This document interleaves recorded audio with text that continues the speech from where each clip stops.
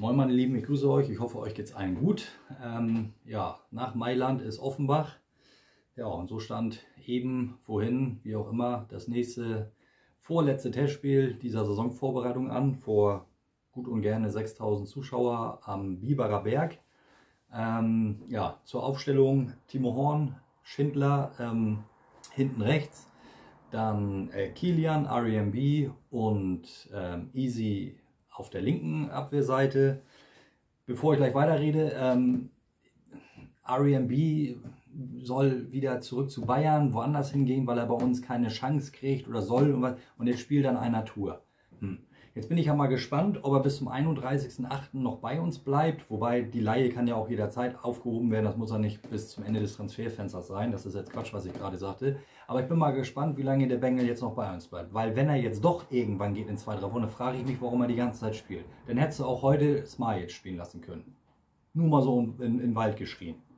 Außer man haben sich, äh, die haben sich jetzt irgendwie doch geeinigt, dass er denn jetzt doch zumindest bis zur Winterpause bei uns bleibt. Ich habe keine Ahnung. Ne? Was weiß ich denn schon.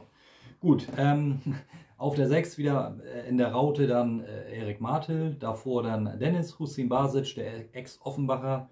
Ähm, auf der linken Seite Meiner, auf der 10 Schwerten und vorne dann im Sturm ähm, unsere Granaten Andersen und Dietz. Ähm, ja, erste Minute, 40 Sekunden gespielt. Ähm, Timo Horn, ja, weiß ich nicht, ob das Bären stark war oder ob er ja schon mit dem Reflex dahin gesprungen ist oder ob er eher mehr angeschossen worden ist. Ähm, wie auch immer, pff, Riesenchance für die Offenbacher. Ähm, Horn ist da und pariert. Ja, hast du gut gemacht, Timo. Ja, ansonsten ähm, muss ich, bevor ich aufs Spiel weiter eingehe, ähm, also das Hessische Rundfunk hat das tausendmal besser in HD sogar übrigens, ähm, als hier Magenta Verein hier von gestern da gegen Mailand ähm, zum Kommentator des Spieles. Also junger Mann würde ich denken, auch Offenbacher Bub und alles. Ähm, er hat es ja insgesamt ganz gut gemacht, aber dieses, wie er das dann immer so dargestellt hat, ähm, der Kölner hat so gemacht und da war gar nichts, der Schiedsrichter pfeift aber, er sagt nichts. Ähm, und wenn es dann umgekehrt war, wenn die Offenbacher gefault haben, schon etwas doller, so Bein stehen gelassen, hohes Bein oder der, der eine Typ da, der da easy völlig unnötig umrennt und alles oder in die Beine rennt, ähm, ja, die sollen sich alle nicht so anstellen, hat er da erzählt. Weiß ich nicht. Also, dass du in Offenbach Bettwäsche pennst, cool, Digga.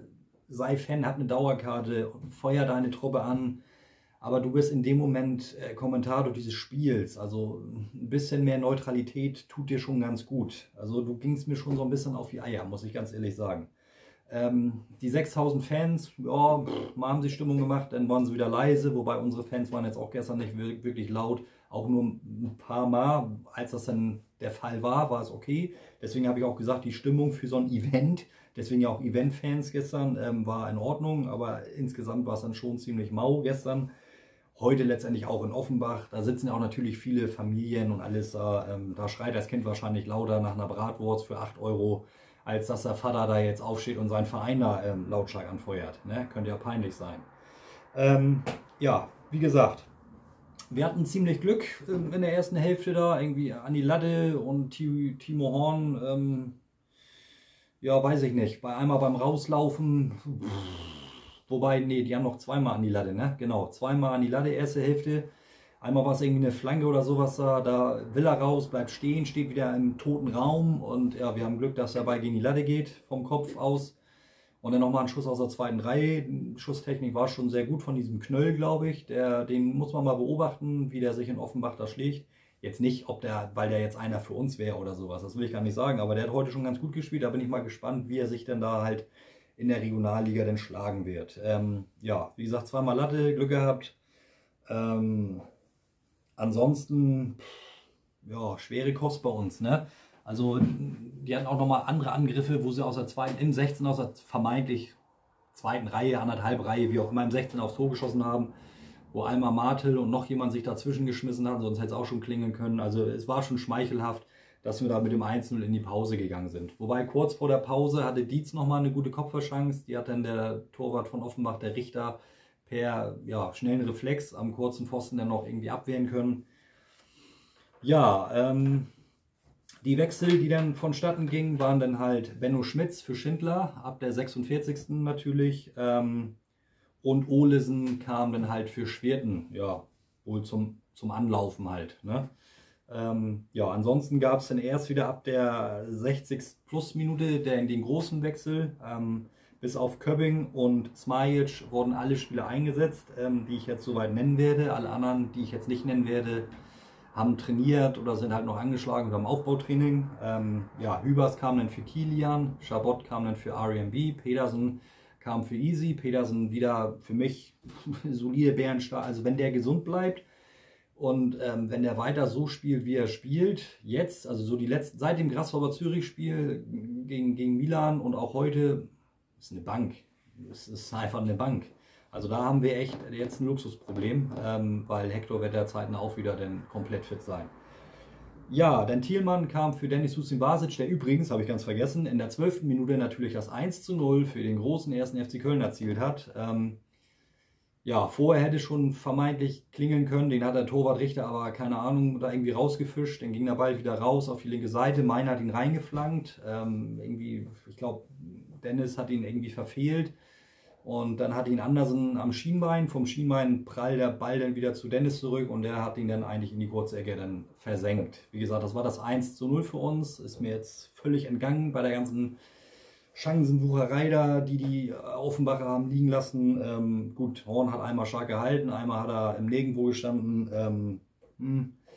ja, ähm, ich glaube, sonst hatten wir noch eine vermeintliche Kopfballchance von RMB oder so, aber pff, ja, wie gesagt, mit der Aufstellung und wie gesagt, die Beine dürften jetzt mittlerweile zum Ende hin der Saisonvorbereitung wirklich schwer sein. Jetzt kommt ja nochmal am 22. das Testspiel gegen den holländischen Vertreter unter Ausschuss der Öffentlichkeit. Ähm, bis dahin äh, wird man dann auch mehr die spielerischen Elemente einbauen und dann halt auch die Frische reinbringen. Jetzt ging es halt nur knallhart um die Kondition.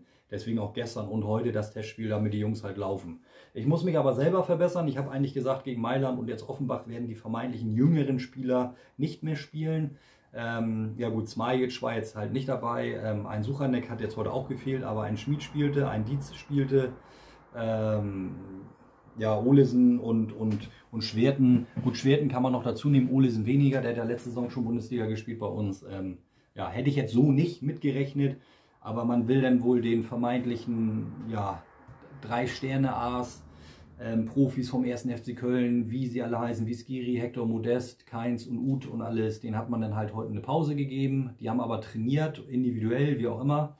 Dudas halt im Aufbautraining, Tigges, Tigges genauso. Ähm, ja, Lubicic soll wohl vermeintlich Verdacht, so heißt es, wohl möglich, weiß ich nicht. Ich habe auch nichts mitgekriegt gestern im Spiel, irgendwie einen Schlag abbekommen haben oder mit dem Spieler zusammengerasselt sein, wohl eher, weil am Kopf hatte er, glaube ich, nichts so wirklich Schlimmes.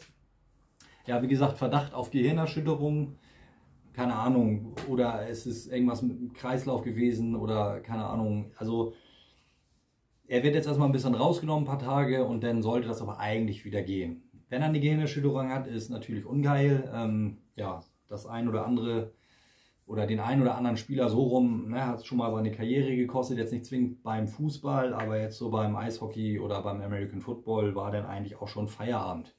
Ähm, ja, wie gesagt, erstmal gute Besserung für dich, Dejo, und natürlich für alle anderen auch, die jetzt irgendwie angeschlagen sind, ähm, kleines Wehwehchen haben oder irgendwie ein Pflaster brauchen. Ähm, ja, also insgesamt müssen wir einfach froh und glücklich sein, dass wir im Grunde keinen neuen Verletzten dazu bekommen haben, ähm, sondern dass im Grunde jetzt alle Spieler fast wieder spielfit sind. Also das ist wahnsinnig geil und ein irres Luxusproblem. Und ja, wenn es ins Eingemachte geht, so vor dem Pokalspiel, da muss Baumgart aber einigen Spielern sagen, nö. Ne? Ja, muss man mal gucken, wie die Spieler denn damit umgehen.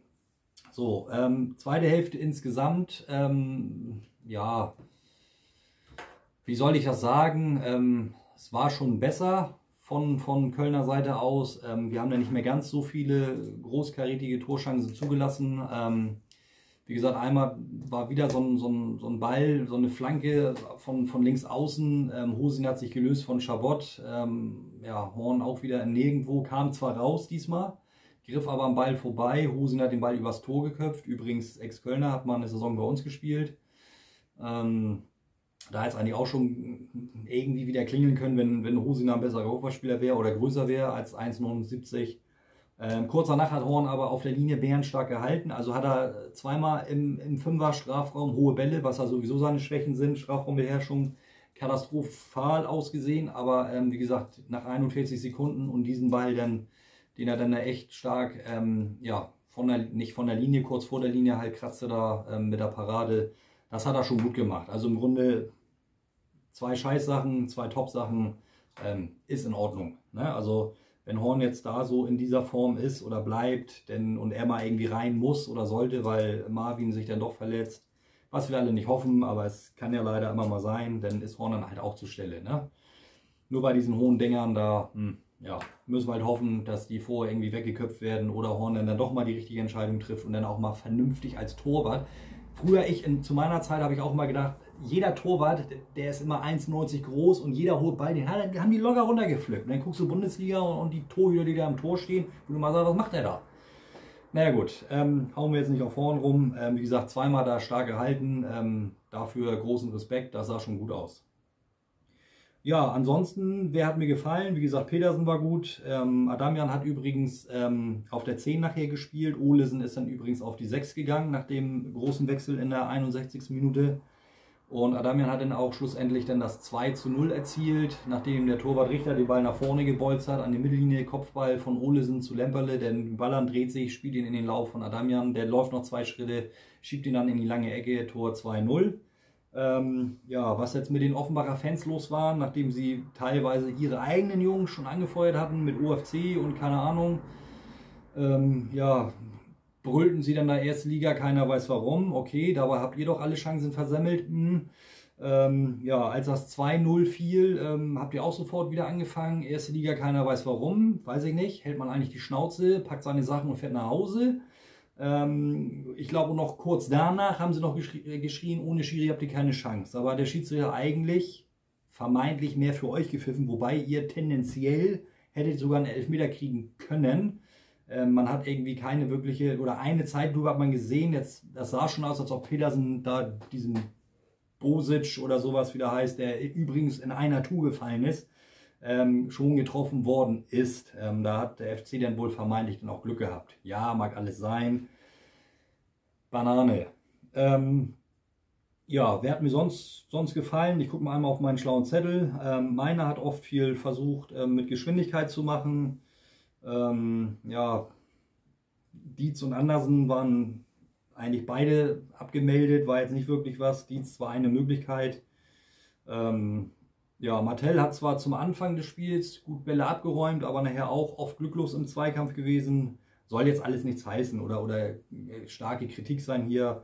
Wie gesagt, die Jungs sind auch kaputt mittlerweile oder sollten sie sein, kann man auch verstehen. Ähm, wir haben immer alle groß reden oder sowas, warum geben die nicht Gas oder so, aber pff, würde ich jetzt da drei Wochen mitspielen mit, mit meinen fast 41, dann würde ich hier nicht sitzen und irgendwie Videos für euch machen, weil ich dann irgendwie drei Wochen erstmal im Bett liegen muss und erstmal ja, mich erholen müsste. Ähm, meine aktive Zeit, die war zwar auch gut und erfolgreich, aber mm -mm. Ähm, ja, wie gesagt, als aus Fansicht sagt man immer, ah, da muss auch mehr kommen eigentlich, weil und du bist doch Profi, aber ja, wie gesagt, dann doch dieses tägliche Trainieren und dann diese ganzen Einheiten, mindestens zwei am Tag und ähm, ja, also gerade in, in der Saisonvorbereitung, die erste Zeit, wo es dann größtenteils um die Kondition geht, ähm, da tut dir dann auch schon einiges weh, halt, ist ganz klar. Ja, ähm, letztendlich ähm, erfolgreicher Test, was das Ergebnis angeht, vom ja, größtenteils spielerischen, teilweise auch Glück gehabt, ähm, ja, muss man schon sagen, ein bisschen schmeichelhaft.